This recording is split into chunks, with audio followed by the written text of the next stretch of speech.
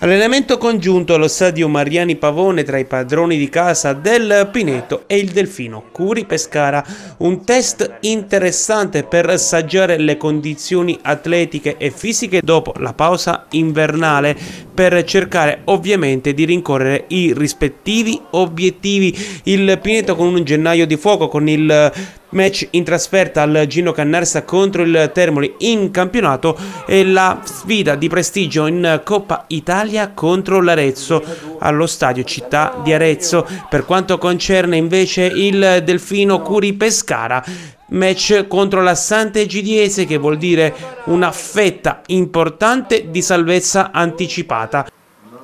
Risultato finale dell'allenamento congiunto 2 a 0 per il Pineto in rete Traini nel primo tempo e Allegretti nel secondo. Le parole dei due tecnici Daniele Amaolo e Guglielmo Bonati. Ma dopo la sosta è sempre diciamo, delle gare con molti punti interrogativi. Allora, come hai detto, come hai detto incontriamo il Termoli che non è più la, squa la squadra inizio stagione, ha cambiato 8-9 undicesimi, quindi una squadra eh, secondo me più equilibrata, più quadrata. E testimonia il fatto che le ultime tre gare non hanno subito gol e hanno fatto 7 punti, quindi eh, stanno risalendo eh, la classifica. Ma come ho detto eh, in altre circostanze, il campionato vero e proprio inizia da domenica prossima. E le squadre hanno fatto mercato e quindi gli organici un po'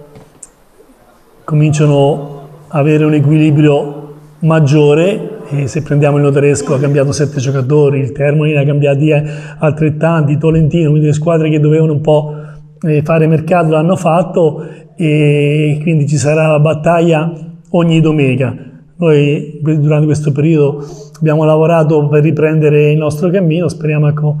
eh,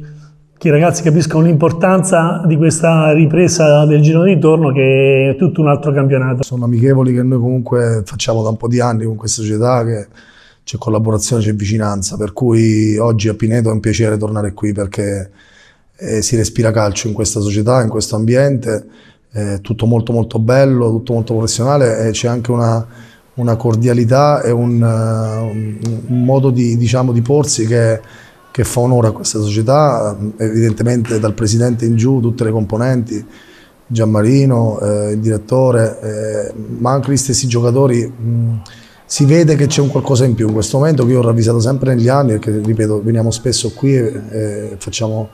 delle belle, delle belle, amichevoli e veramente in, in massimo silenzio auguro a loro eh, il meglio de, de, del futuro perché hanno investito e hanno fatto sempre le cose in una maniera spettacolare.